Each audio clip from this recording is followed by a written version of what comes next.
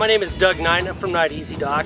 We're here to simulate uh, an installation and assembly of a floating uh, barge that uh, you'd be able to move your four-wheeler and different things to hunting camp or uh, even if you just wanted a remote float for fishing or, or taking uh, other chunks of stuff to your remote cabin or different things like that. All right, we're going through the parts here today uh, for our uh, floating barge that we're going to put our four-wheeler on. So basically we got about four or five different parts here.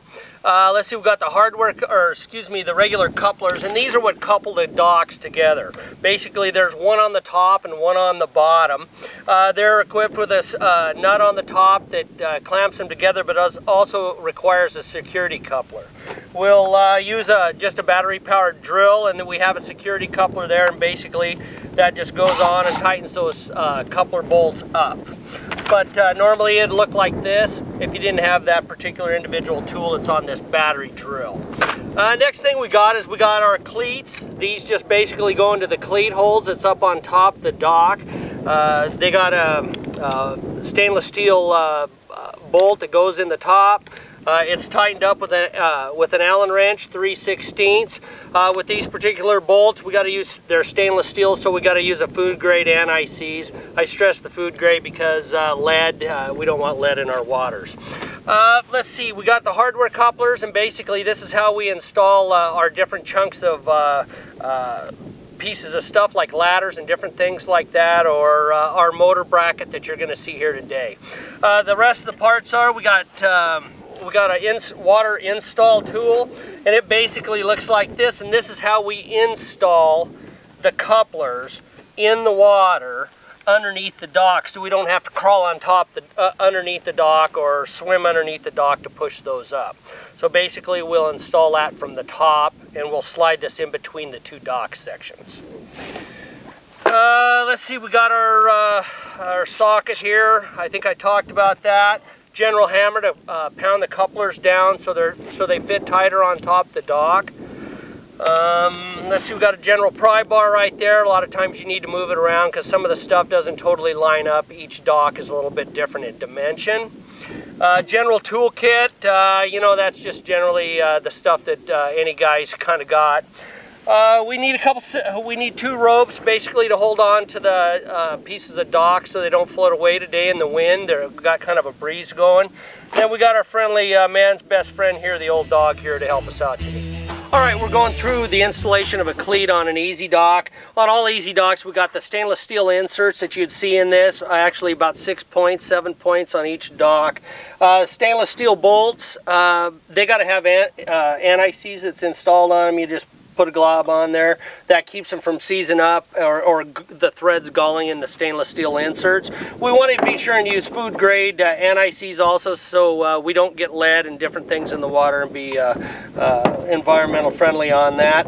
So basically put the cleat over the two stainless steel inserts like that, put it in there and thread it in.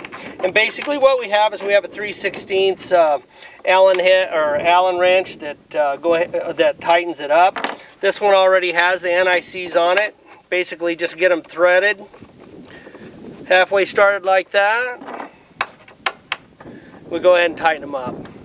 And uh, these particular uh, inserts that are in the EZ Dock, I've never ever seen one pull out in the days that we've been doing this, which is seven years. Really a good installation.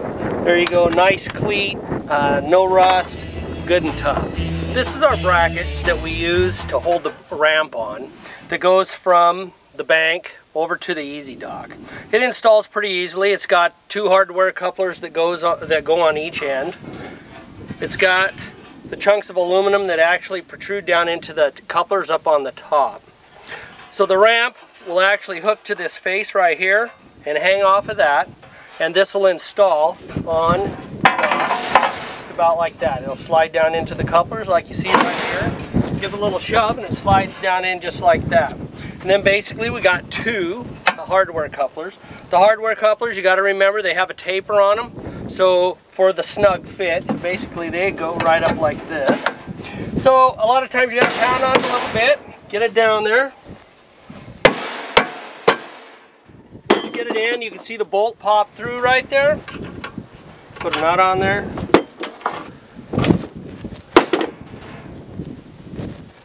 Install the other one on the other end.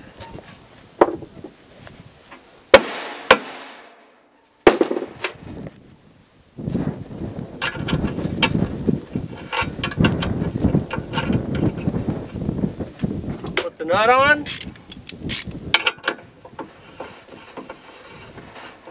And tighten her up. Good thing about doing this stuff in, out of the water is you don't lose your tools by dropping them in the water and different things like that. All right, uh, I'm demonstrating uh, the installation of a boat motor bracket that would go on our EZ Dock that would push our push our boat around. So basically uh, this is the bracket right here. Uh, this is where the motor actually goes. You can see it's built nice and tough, galvanized bolts. On the back side you can see where the hardware couplers go in. So basically we have these two, uh, we'll put two hardware couplers on this particular uh, bracket right here. So uh, they got 13 16 nuts on the back. Leave these loose so they're flop around a little bit there. Here's another one here. So this is what the boat motor uh, bracket will hang on when I'm trying to get the uh, hardware couplers on the bottom. So basically you see how loose they are right there. They pop up. They're also tapered. I didn't show you that. But these uh, couplers are tapered right here, so they wedge down into these pockets. Basically, you see where I kind of slide those up like that, do a little adjustment here. See how you want them kind of halfway down and flush right there as far as tight. Then we get these other ones. They basically come up from the bottom, slide up into those uh, coupler pockets, put a bolt on right there, or excuse me, a nut, Put another one in on this side. Tighten this one up. You want to leave them halfway loose if you can. So this one here.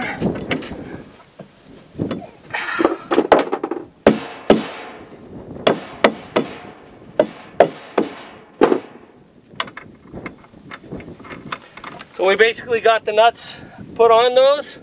Once we get it all arranged, look at where it's nice and square, tight, then we'll go ahead and tighten those up with the 13 16th ratchet. And that basically uh, concludes that installation pretty quick.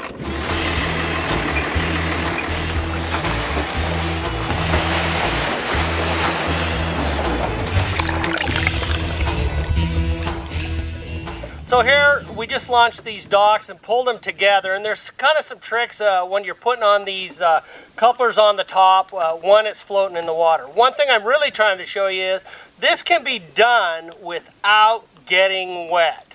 So basically to keep these docks lined up first what we want to do is take a half coupler like this, put in this first coupler hole and drive it in pretty good. Using a hammer just like that. Then what we do is if you got a 2x6 like this, you can put that over. And if I stand on that side of the dock or this side of the dock, that makes the dock uneven, like you'd see down there at the back right there.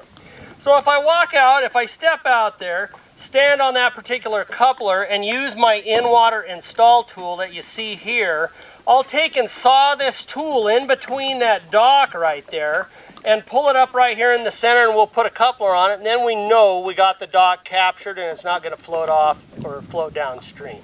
So anyway, here we go. We'll see how this works. So basically I step on the coupler right there that's holding the dock together, come over here and stand on this and this. So once I step over here, you see how the dock goes down. So what we'll do is we'll kind of slide this along and we'll get it over to about want to probably come to about this center coupler right here that you see. Got to be about half careful. So here you have this water install tool. You got to make sure the coupler is seated right on the bottom. This coupler rod is straight with this top. This hole actually lets us pull that coupler rod, coupler rod up into the bottom, seating this coupler on the bottom, and we can put that pinch bar right in the center and pry that up. All right, as you can see, we went ahead and put the other five couplers in this dock. So they're installed and all tightened up, and I want to show you the last installation coupler just so you can kind of see the procedure. Notice that I, I'm still not wet. Uh, it took us about uh, five minutes to put these in. So basically, I showed you this once already, but we take and put this coupler uh, right in this in-water uh, this in-water install tool. So you can see how this uh, coupler fits on this ledge right here on the front and cams down underneath that. So basically you start about like that. When you put this in, You want to make sure that this rod lines up with this with this uh, blade right here. And you can see you want to make sure it's in there good because if you drop one in the water, then you got to get wet. So basically, you take that and you'll saw that underneath the dock, just like this. Into this coupler hole. Once you get it in place and you feel like it's pretty good, make sure the dock is leveled. You can see how this one's higher. Push down on that. Give that a shove and pull it up. And that seated the rod right here so it comes up in this coupler hole.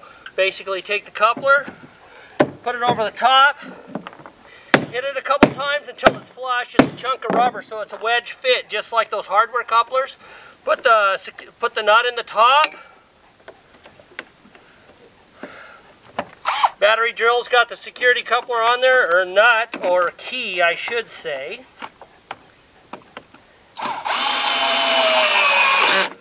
Tighten that baby up. Then to get this uh, in water install tool out, it takes a little bit of work.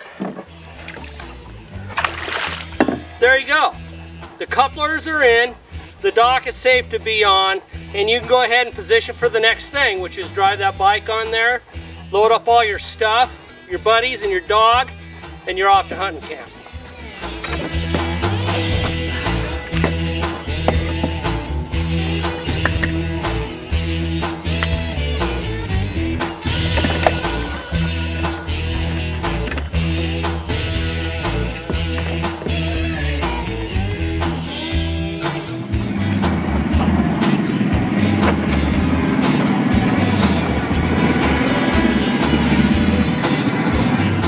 So we've completed the installation and assembly of our dock system here. Uh, we have our ramp, We've got the bike on here, make sure you secure that thing. Um, it's pretty much ready to go. We got our motor on the back and pretty much all of our supplies. Don't forget your life jacket and your friendly dog. And always remember that you can take and call your EZ Dock dealer in your local area and he'll take and uh, get you set up with all the parts and uh, pretty much he'll even assemble it for you if you'd like. So don't forget that and have a great time and we're ready to set sail.